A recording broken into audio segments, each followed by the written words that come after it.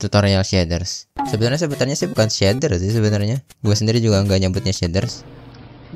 Tapi mungkin bagi orang awam ini nyebutnya shaders jadi ya dan juga ini bukan tutorial lighting. Tutorial lighting itu nanti gue bakal bikin videonya khusus soalnya lighting tuh lumayan ribet terus dijelasin lumayan panjang jadi ya di video ini tuh aku mau jelasin soal uh, environment kalau kalian udah lihat kalau kalian tahu tahu main animator jadi ya kali ini gue bakal jelasin soal environment, cara save environment supaya bisa jadi semacam template lah gitu. Guys, terima kasih buat lo. Jadi environment itu ada di sebelah kanan sini. Uh, ini ini ada proses bla bla bla ini environment dan ya gue akan jelasin ini satu persatu dari atas ke bawah di sini paling atas ada dua lingkaran di sini ada satu sebelah kiri time sebelah kanan itu rotation apa ini? Ini tuh untuk mengatur posisi matahari. Uh, mana mataharinya nih? Nah itu. Nah, ini. Time itu tuh kayak gini. Tuh. Ke atas ke bawah. Rotasi itu tuh ya rotasinya. Tuh. Jadi ya. Sini ada sunlight. Sunlight ini di sini ada dua. Sini ada angle sama strength. Angle itu adalah ketika kalian sini bentar. Kuasai contoh misal sini ada Steve um, nah ini di sini ada bayangan dari Steve.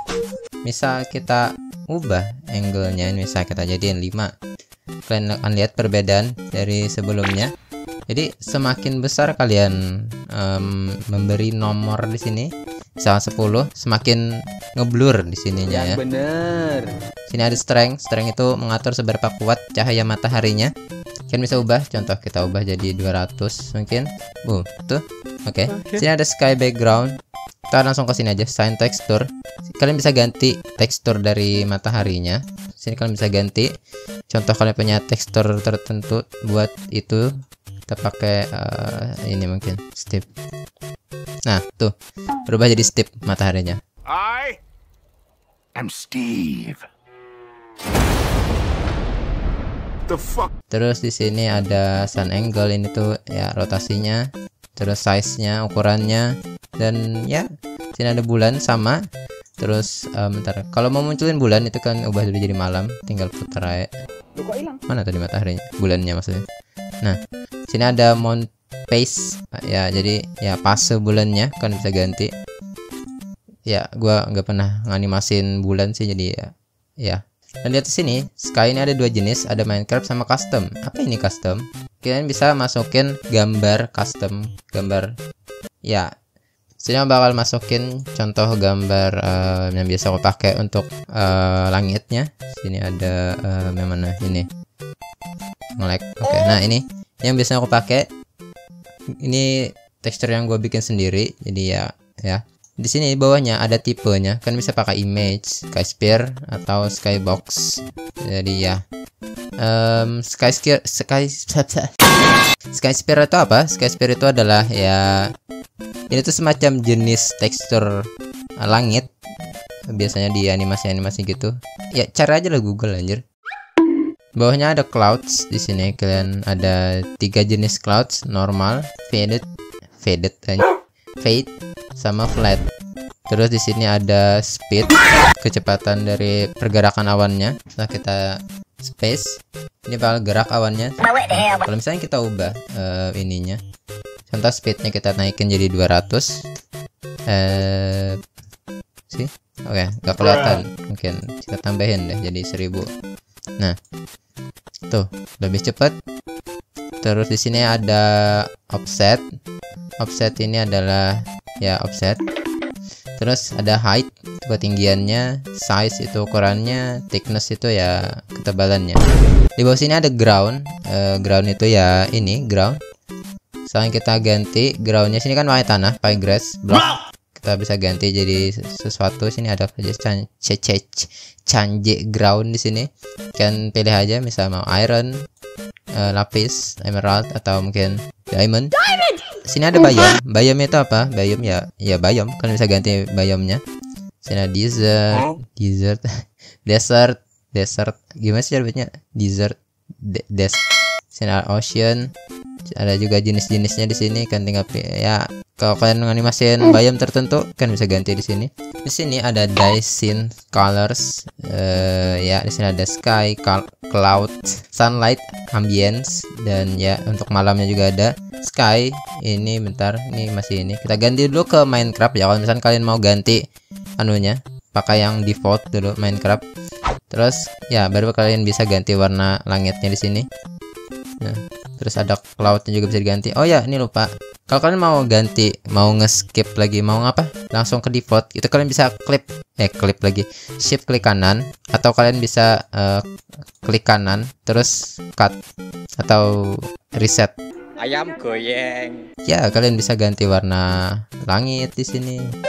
Ganti warna awan terus um, ganti warna matahari Terus ambien, ambien ini tuh adalah uh, shadownya, warna dari bayangannya. Kalian bisa ganti warna bayangannya suka kalian. Jadi ya, itulah ini. Begitu juga dengan yang ini, night scene colors, cuman ini berlaku ketika malam. Contoh kalian set kayak gini, terus ya udah kalian ganti. Tuh. sih sama aja. Di bawah sini ada twilight. Toilet ini tuh adalah kalau penjelasan dari sininya, ini tuh kayak semacam perubahan warna ketika uh, sunset atau sunrise. Kalau kalian matiin ini, itu nggak akan ada perubahan warna sama sekali. Contoh misal, kita bikin uh, misal sunrise gitu ya, akan jam 6 pagi. Nah, sunrise. Di sini kalian lihat stipnya, jadi rada kemerahan gitu kan? Kalau ini kita matiin toiletnya, dia bakal pakai warna normal yang ini, warna normal di sini, yang kalian atur di sini tapi kalau kalian hidupin, ini bakal dirubah jadi di shape warnanya sedikit lebih ke oren-orenan atau kemerahan atau ke kuningan. Ya, fog. Fog ini tuh adalah kabut. Sini ada sky fog, artinya fognya apakah ada di langit. Jadi ya, depan aja. Sini ada custom fog color. Kalau kalian mau ganti warna dari fognya, bentar nih siangin dulu. Sini kalian bisa ganti warna fognya atau warna kabutnya. Contoh ini, jir. Terus ini ada custom object color. Ini tuh misal ada sesuatu di dalam uh, fog. Kalian mau ganti jadi warna apa? Terus sini ada awan kelihatan. Tuh lihat awannya berubah warna sesuai dengan ini nih yang kita ganti. Uh, terus di bawah sini ada distance ya jaraknya seberapa jauh. Terus ada fade size. Fade ini ya ya fade-nya. Terus ini ada height itu ketinggiannya. Jadi ya. Sini ada win, wine, win, rewind rewind. Berarti ini wind dong uh, ini tuh biasanya akan ngefek sesuatu yang kayak daun atau semacamnya. Contoh kita masukin daun bentar. Kan juga bisa ngegerakin ngebikin sesuatu benda jadi kena angin. Contoh step di sini misal aku mau bikin dia kena tiup angin. Lah gimana caranya Tahu nggak ada. Um, tapi kalau misalnya pakai ini bisa. Contoh kayak shape ini. Kan masukin sini. Kan mau um, bikin shape-nya itu terpengaruh oleh angin. Sini ada win. Bisa kita jadi win itu win. Benar gak sih cara bacanya win? Bahasa Inggris. Inggris. Jadi um, ya itulah dia angin.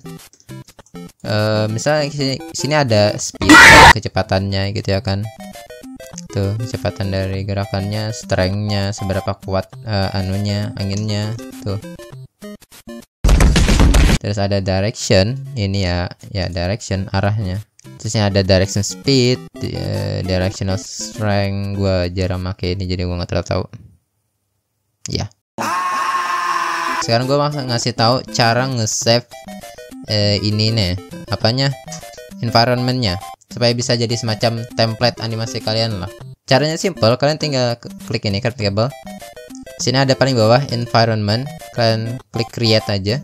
Dan ya udah itu aja. Kan bikin keyframe di sini. Keyframe ini ada menyesuaikan dengan ini. Jadi kalau misalnya kalian ngebikin apa tadi? Gue mau apa? Lupa. Kalau kalian mau save kalian tinggal sini klik ininya terus klik kanan. Terus ya udah export object. Terus simpan di tempat yang kalian mau kalau misalnya mau kalian mau make lagi contoh lah aku bikin project baru gitu ya kan control N. Kita bikin project baru. Nah create new project terus kalian mau masukin uh, shaders kalian tadi. Ya udah tinggal shift satu kalau kalian ikutin shortcut gua atau control I. Terus ya udah pencet ini environment environment Mio object.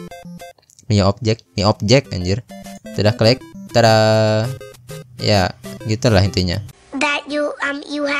gampang sih kan? Tinggal bikin keyframe terus bikin keyframe lagi di sini terus kayaknya bikin perubahan apa yang mau kalian bikin. Contoh aku mau bikin uh, mataharinya mungkin muter kayak siang malam siang malam gitu. Kayak gini tinggal diputar aja. Udah terus ya udah. Kalian pilih di sini apa aja.